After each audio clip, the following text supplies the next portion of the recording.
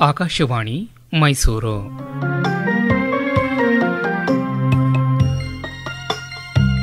ಕಾದಂಬರಿ ವಿಹಾರ. ನಾ ಕಸ್ತೂರಿಯವರ ರಂಗನಾಯಕಿ ಕಾದಂಬರಿಯ ಬಾನುಲಿಬಹುದು ಪ್ರಸ್ತುತಪಡಿಸುತ್ತಾರೆ ಉಮೇಶ್ ಎಸ್ಎಸ್. ಕೇಳಿ, ನಾ ಕಸ್ತೂರಿಯವರ ರಂಗನಾಯಕಿ ಕಾದಂಬರಿಯ ಬಾನುಲಿ ಓದಿನ ಹದಿಮೂರನೇ ಕಂತು. ಗಂಡಿಗಾಗಲಿ, ಹೆಣ್ಣಿಗಾಗಲಿ ಏಕಾಂತ ಜೀವನ ಕೃತಕ. ಆದರೆ ಹೆಣ್ಣಿಗೆ ಅದು ತೀರಾ ಕಷ್ಟ. ಒಂಟಿಯಾಗಿ ವಾಸಿಸುವ ಹೆಣ್ಣನ್ನು ಸಮಾಜ ಕುಕ್ಕಿ ಪೀಡಿಸುತ್ತದೆ. ಮಾಧವಮ್ಮ ವಿಧವೆಯಾಗಿದ್ದರೆ ಕಳೆದುಕೊಂಡ ಗಂಡನೊಂದಿಗೆ ಸವಿದ ಸುಖವನ್ನು ಮೆಲುಕು ಹಾಕುತ್ತಾ ಕಾಲ ಕಳೆಯಬಹುದಿತ್ತು. ಆದರೆ ವಿಧವೆಗಿಂತ ಕೀಳು ಅವಳ ಇರವು. ಬಡತನ. ಬಡತನಕ್ಕಿಂತ ಘೋರವಾದ ಬಣ್ಣ. ಆ ಬಣ್ಣದಿಂದ ಅವಳಿಗೆ ವಿವಾಹವಾಗಲಿಲ್ಲವೆಂಬುದು ಅವಳಿಗೆ ತಿಳಿದಿತ್ತು. ಬೀದಿಯಲ್ಲಿ ಹೋಗುತ್ತಿದ್ದರೆ ಅವಳ ಕಡೆ ಕಡೆಗಣ್ಣು ಬೀರುವವರೊಬ್ಬರೂ ಇರಲಿಲ್ಲ. ಆದರೆ, ನಂಜುಂಡಯ್ಯ ಗುಣಗ್ರಾಹಿ, ಪರೋಪಕಾರಿ. ಆ ದಿನ ಮೊಟ್ಟ ಮೊದಲು ಅವನ ದೃಷ್ಟಿಗೆ ಅವಳು ಬಿದ್ದಾಗ ಅವನು ಅವಲೋಕಿಸಿದ್ದು ಮೂಗಿನ ತುದಿಯ ಆ ಭಾವವನ್ನಲ್ಲ. ಅವಳಲ್ಲಿದ್ದ ಮೇನಕೆಯ ತಾಯಿಯ ಗುಣವನ್ನ. ನಂಜುಂಡಯ್ಯ ತನಗೊಂದು ಕಂಬ, ತನಗೆ ನೆರವು ನೀಡುವ ಪಿತೃಸಮನನಾದ ಒಬ್ಬ ನಂಟ. ಮೇನಕೆಯಂಥ ಮಗಳು ಇವಳಿಗಿದ್ದಿದ್ದರೆ ಪಾಪ ಎನಿಸಿತು ಅವನಿಗೆ. ಸಾತು ನಂಜನಗೂಡಿಗೆ ಹೊರಟಳು. ನಂಜನಗೂಡಿನಲ್ಲಿ ಮೊದಲನೆಯ ನಾಲ್ಕು ದಿನಗಳು ಸಾತುವಿಗೆ ನಾಲ್ಕು ನಿಮಿಷಗಳಂತೆಯೇ ಓಡಿದುವು. ಐದನೆಯ ದಿನ ಅವಳನ್ನು ಹಾಸಿಗೆಯ ಮೇಲೆ ಕೆಡವಿತು. ಅನಿಮಿಯಾ ಎಂದು ಹೇಳಿ ಡಾಕ್ಟರ್ ನಾಯಿಡು ಅವರು ಕ್ಯಾಲ್ಸಿಯಂ ಇಂಜೆಕ್ಷನುಗಳನ್ನು ಪ್ರಾರಂಭಿಸಿದರು. ಅವಳ ತಾಯಿ, ಯಾರಿಗೂ ಹೇಳಬೇಡ ಎಂದು ಅವಳಿಗೆ ಗಂಗು ಹೇಳಿದ್ದ ಎರಡು ಸಮಾಚಾರಗಳನ್ನು ಸಾತು ಒಬ್ಬಳೇ ಇರುವ ಸಮಯಕ್ಕಾಗಿ ಕಾದು ತಾಯಿ ಅವಳಿಗೆ ಹೇಳಿದಳು.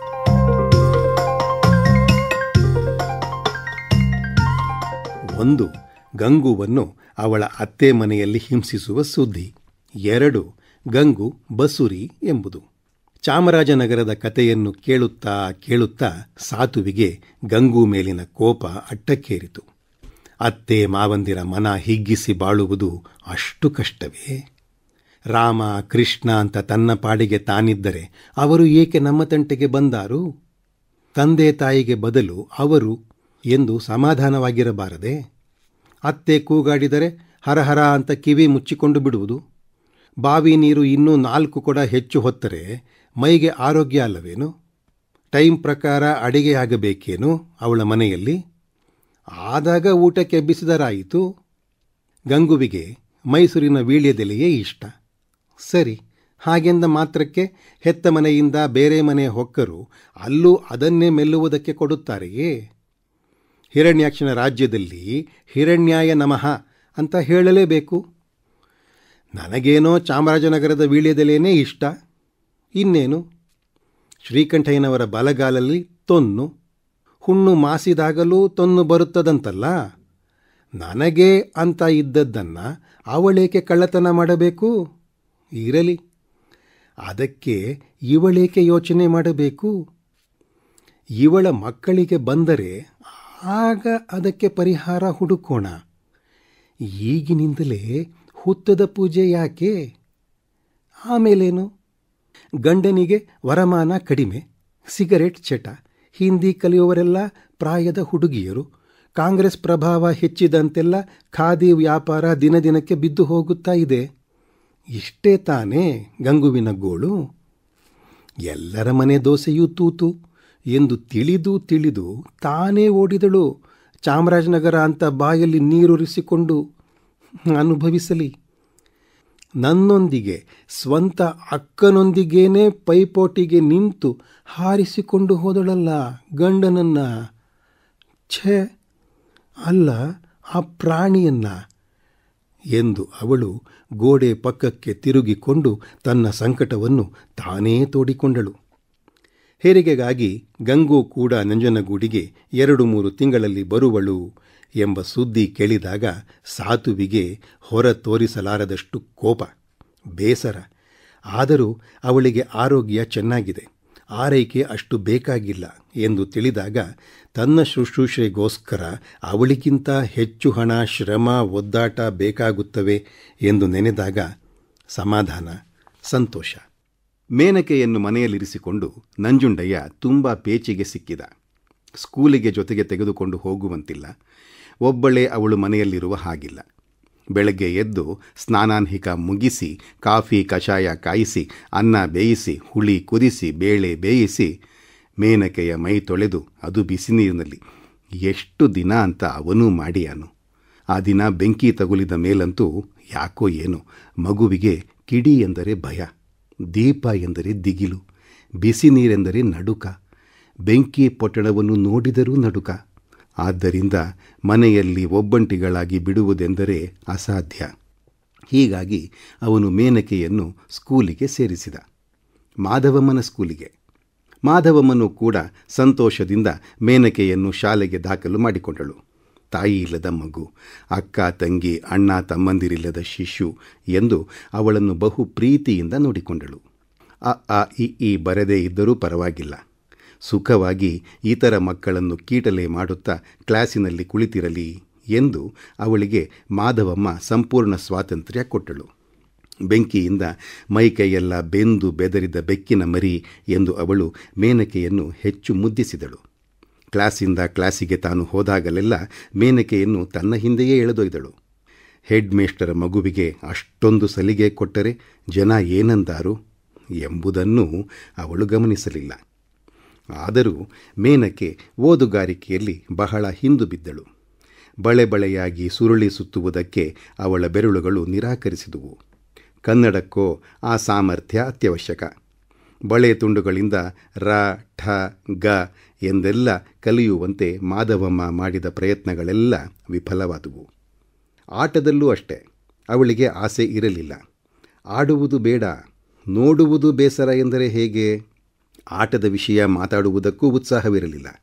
ಕ್ರಿಕೆಟ್ ಆಟವನ್ನು ಆಡದೇ ಇದ್ದರೂ ಬ್ರಾಡ್ಮನ್ ಎಷ್ಟು ಸಲ ಸೆಂಚುರಿ ಹೊಡೆದ, ಹ್ಯಾಮಂಡ್ ನೆಗಡಿ ಪೀಡಿತನಾಗಿ ಆಟದ ನಡುವೆ ಎಷ್ಟು ಸಲ ಸಿಂಬಳ ಒರೆಸಿಕೊಂಡ ರಾಮಾಧೀನ್ ಎಂಬ ಆಟಗಾರನ ಎಡತೋಳು ಉಳುಕಿದ ಶುಕ್ರವಾರಗಳೆಷ್ಟು ಎಂಬ ಅಂಕಿ ಅಂಶಗಳನ್ನು ನಮ್ಮೂರಿನ ಅನೇಕ ವಿದ್ಯಾರ್ಥಿಗಳು ಉರು ಹೊಡೆದಿದ್ದಾರೆ.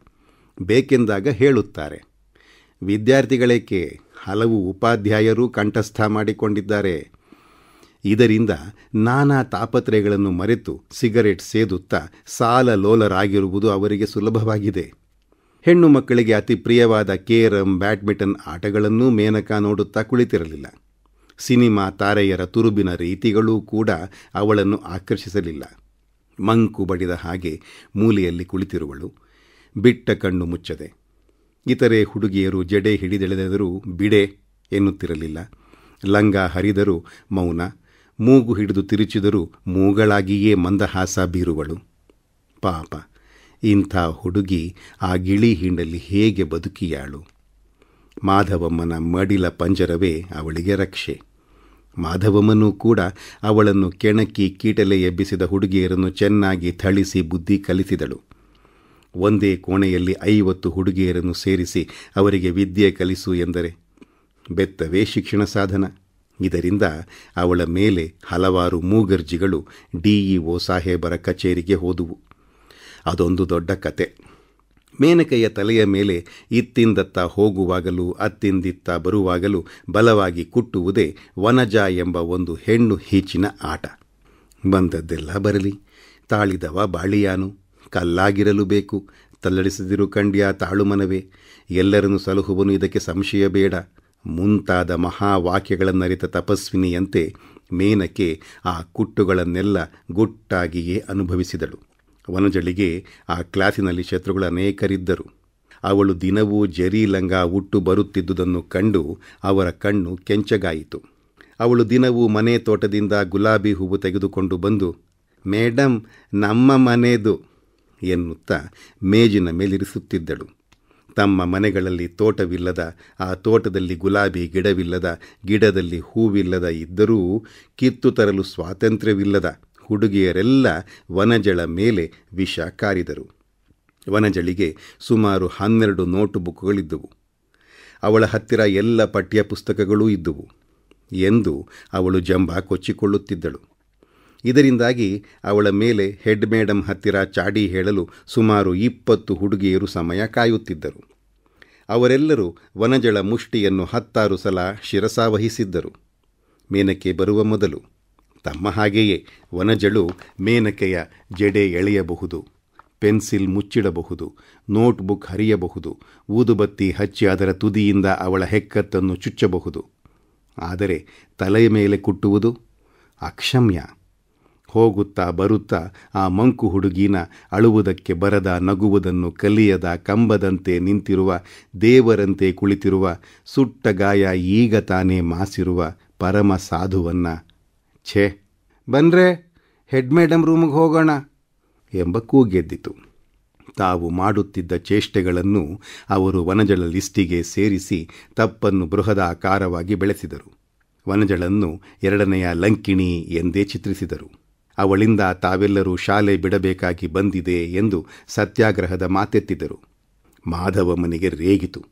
ವನಜಳ ಕೆನ್ನೆಯನ್ನು ಹಿಡಿದೆಳೆದು ಎರಡೂವರೆ ನಿಮಿಷಗಳ ಕಾಲ ಮನಃಪೂರ್ತಿ ಚಿಬುಟಿದಳು ಅಳುತ್ತಾ ಹುಡುಗಿ ಮನೆ ಕಡೆ ಓಡಿತು ಓಡಲಿ ಅಂತ ಮಾಧವಮ್ಮ ಸುಮ್ಮನಿದ್ದಳು. ತನ್ನ ನೌಕರಿಯ ಮೇಲೂ ಡಿಇಒ ಮೇಲೂ ಡಿಪಿಐ ಮೇಲೂ, ಶ್ರೀರಂಗಪಟ್ಟಣದ ನಾಗರಿಕರ ಮೇಲೂ, ಹೋಟೆಲ್ ದೋಸೆ ಮೇಲೂ ಇದ್ದ ಕೋಪವನ್ನೆಲ್ಲ ಆ ಕೆನ್ನೆ ಮೇಲೆ ತೀರಿಸಿದಳು. ಮುಂದಾಗುವುದನ್ನವಳೇನು ಬಲ್ಲಳು ಶಿರೋಲಿಖಿತವನ್ನು ಒರೆಸಿ ಅಳಿಸಲು ಯಾರಿಂದಲೂ ಸಾಧ್ಯವಿಲ್ಲ ಅಲ್ಲವೇ? ಅಥವಾ ದುಃಖ ಎಂಬುದೂ ಕೂಡ ಕಪಟ ನಾಟಕ ಸೂತ್ರಧಾರನ ಸೆಳೆತಕ್ಕೆ ಸಿಕ್ಕಿ ಸುಖವಾಗಬಲ್ಲುದೋ? ಬಲ್ಲವರಾರು. ಸುಖವೆಂಬುದು ದುಃಖ ನಾಟಕವೊಂದರ ನಾಂದಿ ಹಾಡು. ವನಜ, ಪೊಲೀಸ್ ಇನ್ಸ್ಪೆಕ್ಟರ ಮಗಳು.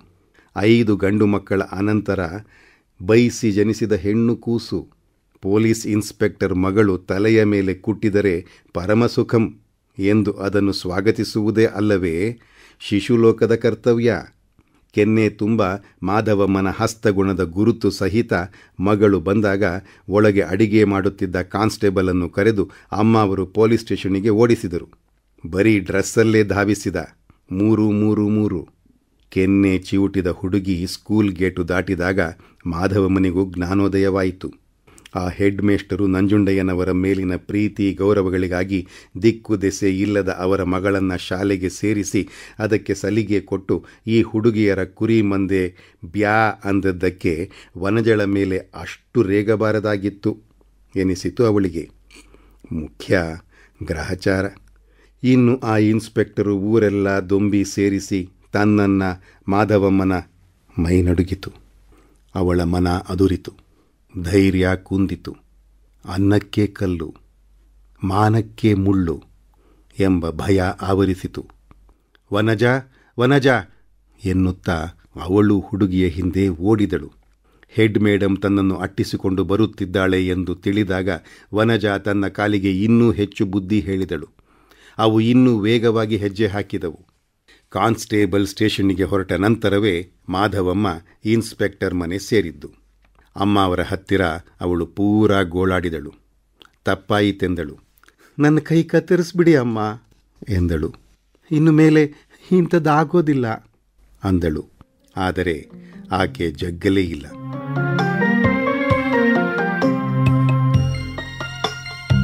ಕಾದಂಬರಿ ವಿಹಾರ. ನಾ ಕಸ್ತೂರಿಯವರ ರಂಗನಾಯಕಿ ಕಾದಂಬರಿಯ ಬಾನುಲಿ ಓದಿನ ಹದಿಮೂರನೇ ಕಂತನ್ನು ಕೇಳಿದಿರಿ. ಪ್ರಸ್ತುತಪಡಿಸಿದವರು ಉಮೇಶ್ ಎಸ್ಎಸ್.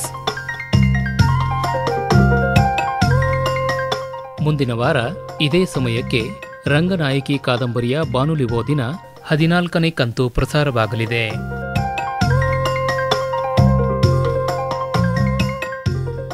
ಈ ಕಾರ್ಯಕ್ರಮವನ್ನು ಆಕಾಶವಾಣಿ ಮೈಸೂರು ಕೇಂದ್ರದ ಯೂಟ್ಯೂಬ್ ಚಾನೆಲ್ನಲ್ಲೂ ಕೇಳಬಹುದು.